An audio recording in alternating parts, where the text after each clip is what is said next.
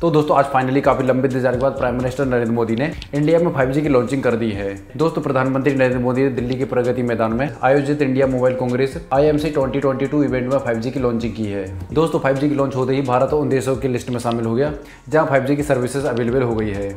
दोस्तों, प्रधानमंत्री नरेंद्र मोदी ने 5G की सर्विसेज़ सबसे पहले दिल्ली से शुरू की, मगर दोस्तों, अभी आपको दिल्ली के अलावा कुल तेरह सिटीज़ में ही 5G की सर्विसेज़ शुरू होगी। इसमें दोस्तों, सबसे पहला दिल्ली, दूसरा मुंबई तीसरा अहमदाबाद चौथा बेंगलुरु पांचवा चंडीगढ़ छठा चेन्नई सातवां गांधीनगर, आठवां गुरुग्राम, नौवां हैदराबाद, दसवां कोलकाता, ग्यारहवां जामनगर, बारहवां लखनऊ और तेरहवां पुणे शहर होगा। अब दोस्तों बात करते हैं कि आपको आपके शहर के अलावा पूरे देश में 5G की सर्विस कब तक देखने को मिल सकती है। दोस्तों टेलीकॉम सर्विस प्लेटफॉर्म एयरटेल और जियो की तरफ़ से भारत में सबसे पहले 5G की सर्विस देखने को मिलेगी।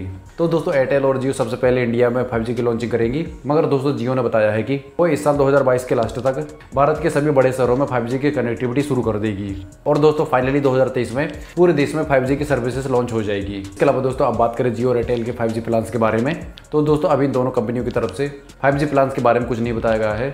मगर दोस्तों, एक रिपोर्ट में ऐसा पता चला है कि आपको 5G प्लान के प्राइस की कीमत 4G प्लान के मुकाबले 20 से 25 परसेंट महँगे होंगे। जी हाँ दोस्तों, आपको 5G की प्लान ज़्यादा महँगे देखने को नहीं मिलेगी। मगर दोस्तों 5G की सबसे अच्छी बात यह है कि आपको 5G में 4G के कंपेरिजन में 10 गुना ज़्यादा स्पीड देखने को मिलेगी। तो दोस्तों, ये थी आज की 5G की सारी की सारी इन्फॉर्मेशन आपको कैसे लगी, मुझे नीचे दिए कमेंट सेक्शन में कमेंट करके ज़रूर बताएँ। और दोस्तों, साथ ही साथ आपको आज का ये वीडियो पसंद आया, इस वीडियो को लाइक शेयर करने के साथ इस चैनल को सब्सक्राइब कर लीजिए। क्योंकि दोस्तों, मैं हर रोज इसी तरह लेटेस्ट और नॉलेबल वीडियो लेकर आता रहता हूँ। जय हिंद बंदे मातरम।